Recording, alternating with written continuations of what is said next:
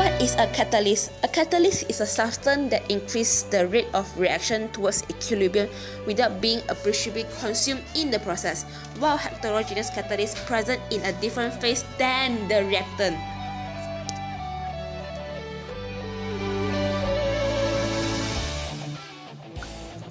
If you have one silver jewelry, you know how tarnished it can get in a very short time.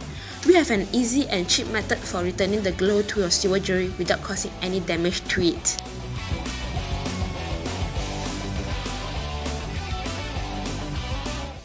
I'm going to take a piece of aluminium foil and press it down so that it lays flat in the bowl, shiny side up.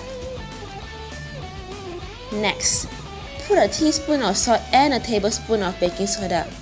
Salt acts as a catalyst to speed up the reaction while baking soda removes the surface of aluminium foil to aluminium hydroxide to expose the fresh metallic aluminium that is ready for oxidation. Then, add about half a cup of hot water into the bowl. Stir to dissolve the powders. A hissing sound can be heard.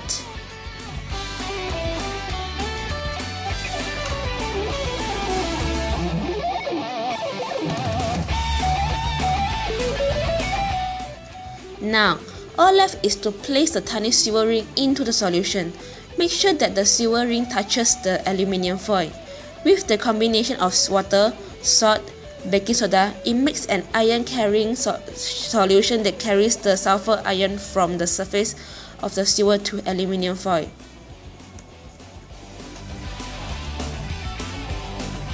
After 5 minutes, let's look at the result. Use a cloth to dry the ring and remove any remaining residue.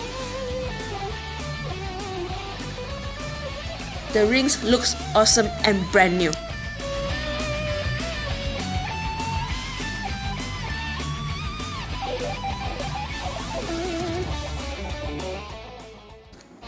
Those are the heterogeneous catalysts that used in industry.